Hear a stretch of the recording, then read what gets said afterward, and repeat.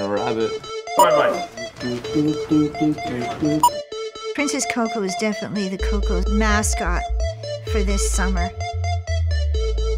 I bought this uh, white bunny. What? We don't need a rabbit. Where did this idea come from? I don't even know. I thought he was kidding. He's like, you gotta buy me a rabbit. I'm like, seriously, Mick? Like, I have to buy you a rabbit?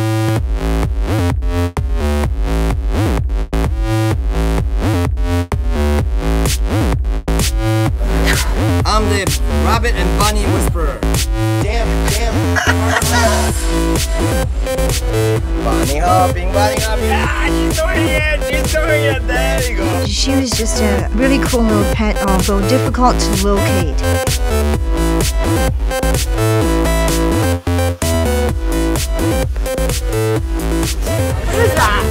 Unicorn. It's all about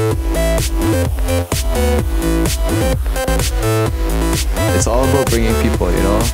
Just getting people to come here, and stop, take a look. Are you guys coming for lunch? Um, we could later. Yeah, because uh, if you don't come in, bunny dies. What?